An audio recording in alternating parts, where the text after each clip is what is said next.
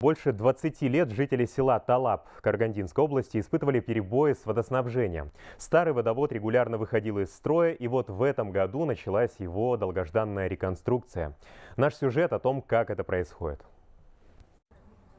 Бутылки, ведра, бочки. Дворы и дома в селе Талап заставлены всевозможными емкостями для хранения воды. Жители запасаются на случай очередной аварии водовода, а порывы на 30-летних трубах – не редкость. Старый водовод часто э, дал по- порывы.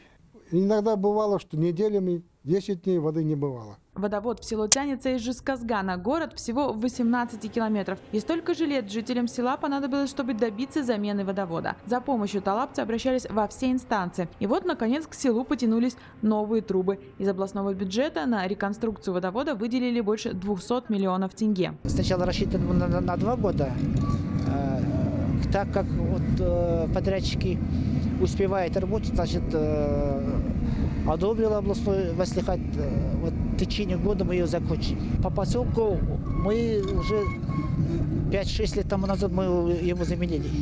По, по внутрипоселковой водовода проблем нет у нас. Неожиданно приятным для 650 жителей Талапа оказалось, что подрядчики решили обеспечить село не только водой, но и досугом. Построили в селе спортивную площадку.